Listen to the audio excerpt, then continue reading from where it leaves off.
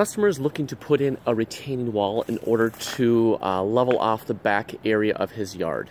Um, so uh, they've set up, uh, first of all, let's talk about their trees. So they're going to be removing some of their trees around the yard, um, but uh, some of the other trees are staying and they want to do their best to limit the impact of leveling off their yard, what it, what it will do to, uh, what it will do to the trees.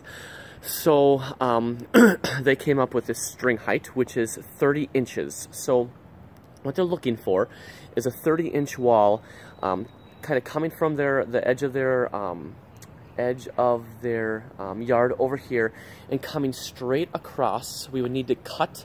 Um, we would need to cut the. Uh, the patio that we have here and it would go straight across over to um, where their fence is over here and uh, we'd be uh, 30 inches from the center, so it'll probably be shorter on the right than it will on the left. But then as it gets over here, wherever four feet is, as far as height is concerned, um, is where we're going to be curving it.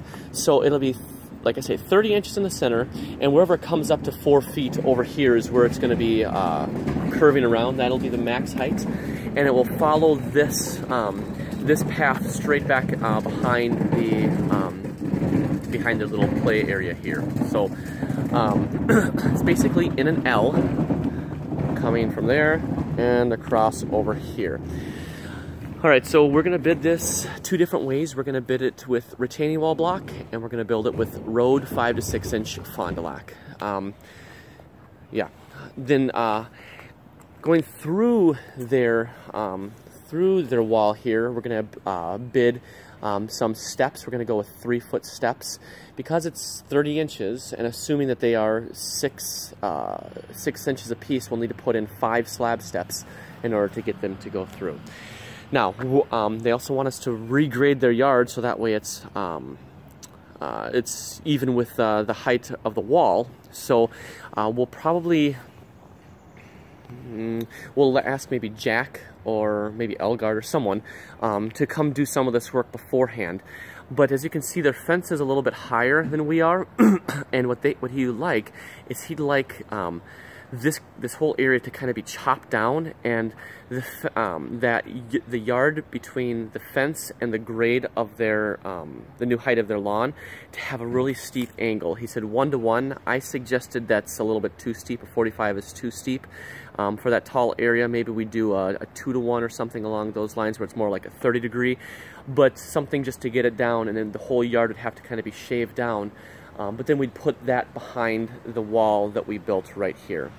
So um, I've got 17 feet from the uh, fence to the um, to the concrete here, and then I've got 36 and a half feet to the um, to the fence over there, um, and then the, we were curving it up along that fence. It's 40 feet from um, from this part of the wall to the top of the to the top of the lawn over there. Our access point is, uh, he's going to take down this fence right here, and our access point is the neighbor's driveway. I double checked to make sure, and he said, yeah, the neighbor um, has said that we can go ahead and use it. Um, but uh, it's kind of steep, but it's not terribly, uh, terribly bad. Um, but one thing to note is that we are going to have to build up um, a little bit of grade because there is um, the the concrete right here probably about 12 inches, so we're going to have to uh, build this up a little bit in order to have a, an adequate ramp to get up um, to this height. So, um, other than that, I suggested that he wait to do this probably until um, September. He's got two kids and they want to be able to use, you know, if, they want to use their backyard this summer, um, this will just destroy it, so they won't be able to use it. So if we wait until September, they'll be back in school, and it'll be um, more conducive to them. So, uh, yeah.